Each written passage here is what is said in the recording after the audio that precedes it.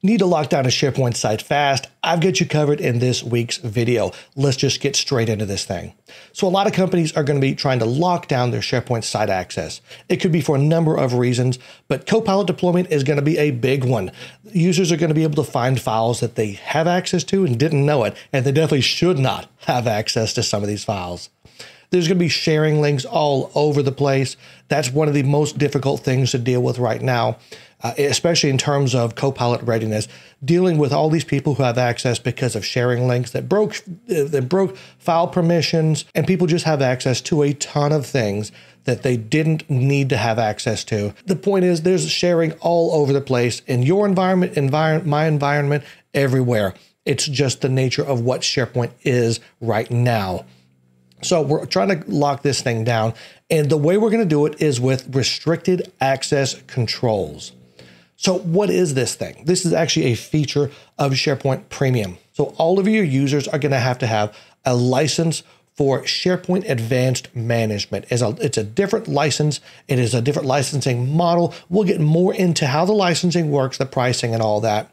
But first, let's just jump in and see what this thing can do for us. So I'm on my SharePoint site and I'm logged in here with, with one user and I'm logged into here with a different user. The user doesn't currently have access. I'm going to grant them access. I'm going to block it with this restricted access control, this RAC policy. And then we're going to see how this thing looks to the end user, to the admin, to the site owner. We're going to go, go through all of this because it will not look like this with this message once we block their access. You'll you'll have to see what this thing looks like. So the first thing I'm going to do is I'm going to go and grant them access to this site. We'll give them, um, we'll, we'll just be a really bad site owner. We're going to grant them full control access.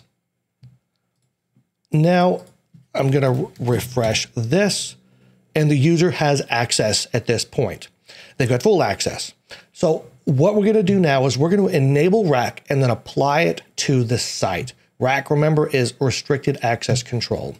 So the first thing we're going to do is in the admin center, SharePoint admin center, by the way, we're going to go under policies into access control. You'll see site level access restriction here. You'll see the pro, the little pro icon or uh, indicator. And that is uh, be, because this is part of SharePoint Premium. So this will require additional licensing. Again, we'll get to that. But for right now, I have the licensing on this tenant. So we're going to click on this and say allow access restriction. This will give you just a, an overview here of kind of what this feature does. So we're going to turn this thing on. Now what we have the ability to do is tell SharePoint only people within these specific groups should get access to the SharePoint site. It doesn't matter what the what the site owner has shared out. It doesn't matter what other users have shared. It doesn't matter how that information was shared, whether someone was added to the site, whether someone created a sharing link, however that information was shared, this will override it all. It cuts through all the noise and it just locks the site down instantly. It's really, really cool. So let's go over to the, the uh, active sites and we're going to apply this to the site. So we've enabled the feature. Now we can apply it. So I'm going to go to this site. And if you look under settings, you'll see restricted site access. Again, the pro indicator to let you know that this is going to be a SharePoint premium feature. If we click edit, what we can do at this point, here's how we'll actually turn it on on the site. And you'll notice we can specify up to 10 security groups or M365 groups. The other one that's not listed here, but you could also use is a dynamic group. So that's a really cool group if you're not familiar with that, if you're not an Azure person. What it generally does is creates a group and automatically maintains it. And whoever matches specific user pro profile properties like the department they're in, uh, the division they're in, things like that. The, it'll automatically maintain the membership based on who matches those uh, that type of criteria. So it is a common use case, and I'm, gl- I'm glad they included that as an option in here. So uh, what we can do is we click the, this checkbox, that, and at this point we can add in users. So I'm going to pick the Contoso admin users group. This is a group that I created in Azure So it's a security group. And I know that this other user here, my test user, isn't a member of this. So let's click on save. It's going to warn you, hey, you know, if you're not in this this list of groups, you will lose access to SharePoint to that SharePoint site immediately or almost immediately. In my case, it's been pretty fast. So we'll click on restrict access because we know what we're doing here. This is all done. I'll close this and we can come over here and refresh the page and let's see what happens. The message is entirely different. Now it's saying access denied. Your organization's policies prevent you from seeing content on this site. Totally different than the, the other message that we're used to seeing if we don't have access to, to something. For, uh, you'll see under here the, the user type, it says the user has encountered a policy issue. That's that's actually correct. This was a RAC policy, restricted access control policy that we applied to restrict access by, by based on groups. Now, what's interesting here, if we go back to the site as an admin, or let, let's just say I'm the owner, here's what they're going to see. If they go to site access, they're going to see right here at the top, restricted site access is on. Only members of the following groups with site permissions can access the site. So it tells them exactly what's going on. There is restricted access. You have to have access to the group, you have to be a member of the group, and you have to have site permissions to it. So both both things have to be satisfied. Now I can go in here, I can still add in users. I could grant them whatever rights I want. It's not stopping me from sharing, but none of it's going to actually work because unless that user one that I just added is in that admin's group, unless they're in the group, they're not getting access. That's just that's how it works. The restricted access control overrides everything that could have been done security wise in on that SharePoint site. I could have created an anonymous sharing link. No one's going to be able to use it anymore, not unless they're in that group. I could have shared, I could have added users to the site. I could have shared uh, information, files with people in the organization, none of that'll matter anymore because there's a new threshold that has to be met. In addition to all those other things, you have to be a member of that group. I can go in here and I can add more groups. And you can add up to 10, but this overrides everything. This is an administrator's best friend if you're trying to clamp down on security fast this is really the fastest method I know of. Think about what is what's involved with auditing a, a SharePoint site with all their permissions.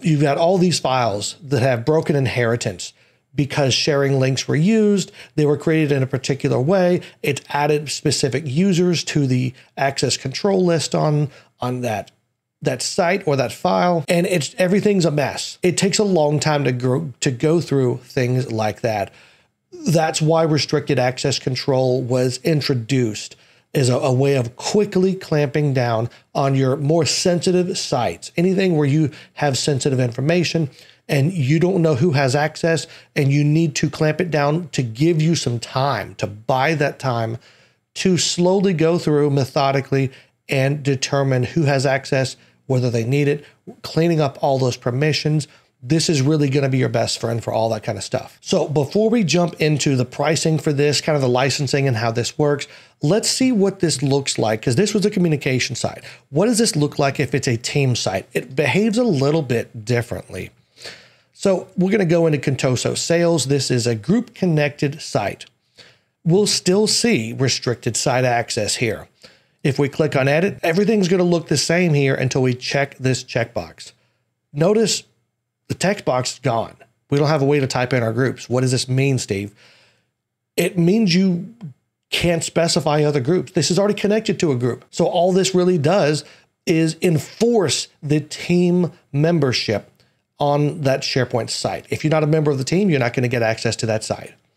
It's a really, really clean way of ensuring that the that data can't be shared outside of the group outside of the team. So if it's a communication site, you're going to be able to specify which groups have access. And with a group connected site, all you're going to do is say, no, they really, really have to be a member of this site. I don't care who Joe shared a file with uh, last year and and forgot where it was and who we shared it with. None of that's going to matter. I'm going to enforce this right now. It's a really powerful way to enhance your site security. Now, if you're new to SharePoint Premium or you haven't even heard of it, I've got a newsletter that'll keep you updated on all these cool features because they're continuing to put stuff out all the time for SharePoint Premium. So click that link below in the description to get signed up for that. It's free. What more could you ask for? So, how does the licensing work for this? It is pretty simple. It is uh, every user in your organization will have to have a license for SharePoint Advanced Management. You can technically get by with just one. Uh, because the admin, whoever is going to configure this feature, would need that license. But as soon as Microsoft does an audit of your environment, a licensing audit, they're going to realize, oh, you're using this and you don't have all the licensing. So yeah, it, you'll get a, a, hefty bill there to catch up on your licensing and um, make sure it's applied to all the all the users who who have to have that. So the licenses are going to be $3 per user per month as of right now, anyway. If you're in another country, it would be whatever the equivalent is uh, in your currency. But you'll have to buy these licenses, make sure that all the people have it assigned. But what these SharePoint Advanced Management licenses, these SAM licenses, what they give you is a lot of governance features. Whether it's policies like this to, to restrict access or do site audits, whether it's uh, reporting all these advanced reports. There's a lot of AI features built into these reports as well, and they're continuing to add more AI to these reports. You get a lot of things. These are all really uh, about governance related things at this point. You've seen me cover other. Uh, you've seen me cover other SharePoint Premium features where it's more about document processing, content processing, things like that that will all pay as you go. That's the other licensing model for that type of thing. But the governance related features in SharePoint Premium are all going to be tied to that license. So at least the good news is you have fixed costs on that. It's not going to be based on the consumption uh, that the processing features are. This is just a flat fee every single month per user. So it's easier to factor this in uh, depending on your budget. Now, if you have a lot of sites and you've got to go through and lock all these things down. Uh, you don't want to spend the next three years uh, clicking around in the admin center because you've got so many sites and so many things that have to be done. You can actually use PowerShell to script all this out to loop through all your sites. Maybe you're going to import a, a CSV file that has the sites and, and all the groups that need access to that. You could script it all out. It will work just fine. So don't think you have to do all this clicking uh, to lock down, you know, thousands of SharePoint sites.